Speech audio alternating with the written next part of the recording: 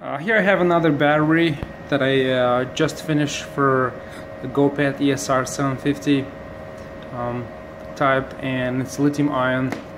Uh, this battery is for Marcus, so here it is, um, completed and wrapped in heat shrink. And here we have the balancing process. I just plugged it in and uh, so you can see it needs to balance that's 3.6 between 6.5 and 6.7 70 all 7 cells is balancing right now. So I'll keep it there for maybe a couple uh, maybe like 15 or 20 minutes just to give it some juice. Uh, the cells uh, came initially at 3.6 volts so they probably have like 30 40 percent charge. Uh, I'm not sure maybe more maybe less.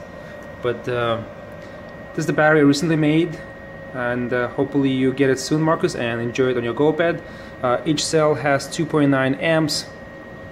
So uh, let's see that's probably uh, probably give you over 25 mile in range uh, probably more than that depends on your weight and on the terrain so alright Marcus so uh, here's a battery. Hopefully we get in couple next couple of days and of making a tutorial on how to make uh, the cells.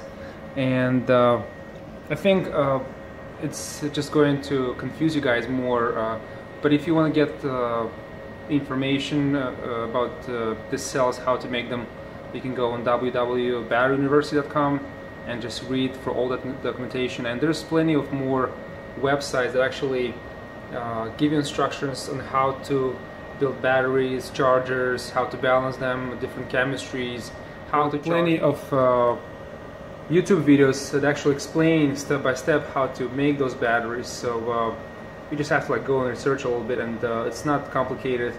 You have to be uh, precise, and you have either I solder the cells, uh, but I'm thinking to try with the spot welding.